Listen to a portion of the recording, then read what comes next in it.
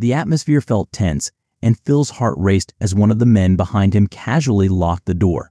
Another stepped forward, positioning himself in front of it.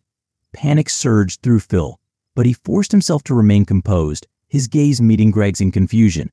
Greg, what's going on? Phil asked, his voice trembling. Greg gestured for him to sit. Please, take a seat, Phil, he said, his tone devoid of warmth. Reluctantly, Phil slid into the chair opposite him. They're here to give you the jab, that's all Greg stated, as if it were a routine matter. I'm not doing it. I don't want it, Phil replied firmly, his fists tightening.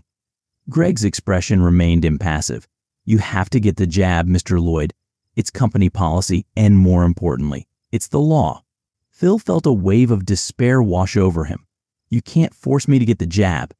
Ah, but Mr. Lloyd, I believe you're mistaken, Greg said, his voice laced with an unsettling undertone. In an instant, the medical staff moved in. Before Phil could react, they seized his arms, pinning him to the chair. Despite his frantic struggles, they held him tightly. The nurse, wearing a disconcerting smile, approached him, needle in hand. Without hesitation, she inserted the needle into his arm, pushing the plunger as Phil's world began to spin. Every muscle in his body screamed in protest as he fought against their grip, but it was futile. Once the jab was given, they released him. Dazed and disoriented, Phil slumped in his seat, struggling to comprehend what had just occurred. Make sure you get the next jab when you're called in. Okay, Mr. Lloyd Greg's voice broke through the haze.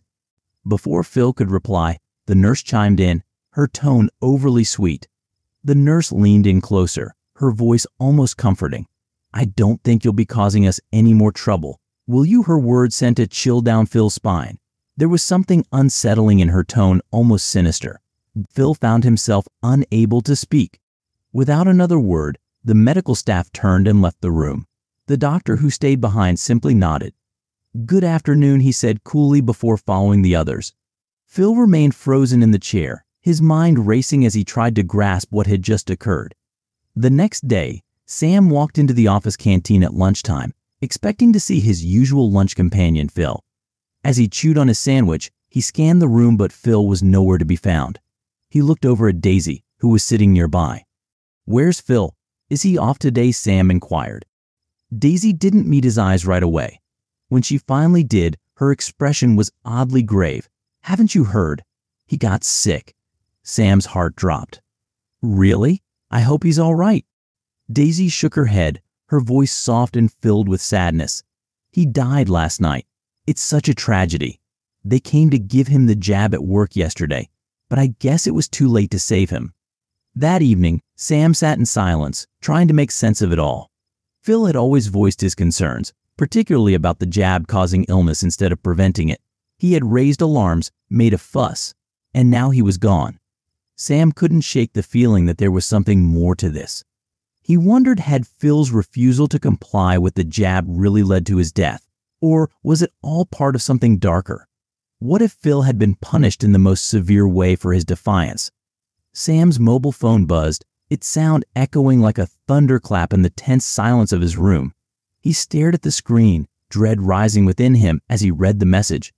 It was an urgent notice to come in for an emergency booster jab the next morning. His heart raced. What if they were out to get him? What if Phil's theories had spread and now Sam was being targeted too? Had they already begun eliminating anyone connected to Phil? With a growing sense of panic, Sam called in sick, locking himself away in his apartment. The doors were shut tight, the curtains drawn just enough to block out the outside world.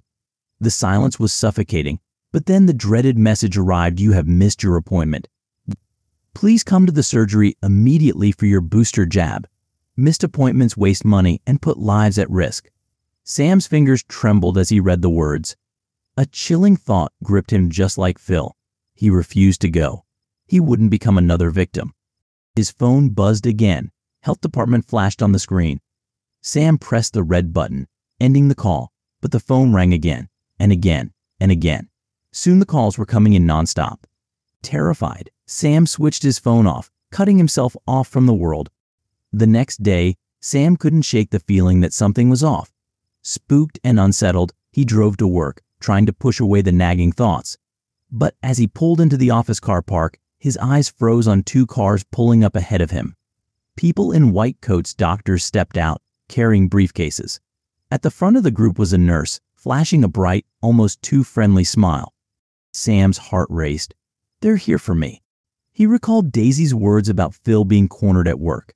Was this all part of a larger scheme? Were the company and perhaps all employers complicit, allowing doctors to administer the jab to people against their will? In a surge of panic, Sam whipped his car around and sped back toward the main road. He had to escape. He couldn't face them. He couldn't face them. He couldn't let them inject him. As he drove, a chilling realization dawned on him. If he took the jab, he would share Phil's fate, just another statistic. The news always reported that hundreds died from the flu each year, claiming the jabs were meant to protect them. But what if that was a lie? What if Phil had been right all along? What if the injections were the cause of those deaths? What if Phil had been targeted for standing up against it? Everything began to click into place.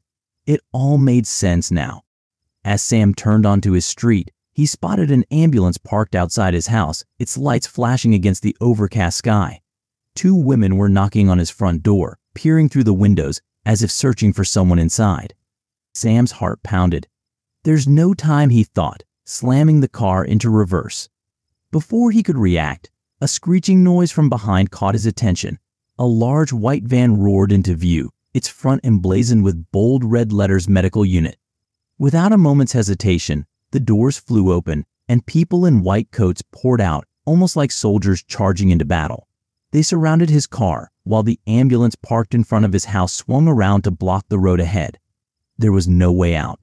Sam's heart raced it all clicked into place Phil had been right. These shots weren't about protecting anyone. They were about keeping people weak, dependent, and constantly buying pharmaceuticals. A burly figure in a white coat yanked open Sam's car door, his grip like iron. Sam struggled, but it was futile they dragged him from the car with rough, unyielding force. It felt like an arrest over a shot. Desperation surged through him, and he pushed back, managing to break free. But as he turned to run, he saw the nurse beside him, that practiced, polite smile never wavering, a syringe glinting in her hand. Before he could take another step, pain shot through his arm, and he felt the scratch of the needle piercing deep into his flesh. Sam's vision blurred, his legs buckled beneath him. He hit the ground hard, the world spinning around him. This, this can't be happening, he thought as darkness crept in at the edges of his vision. The nurse's smile never faded, even as she gently placed a hand on his shoulder and everything went black.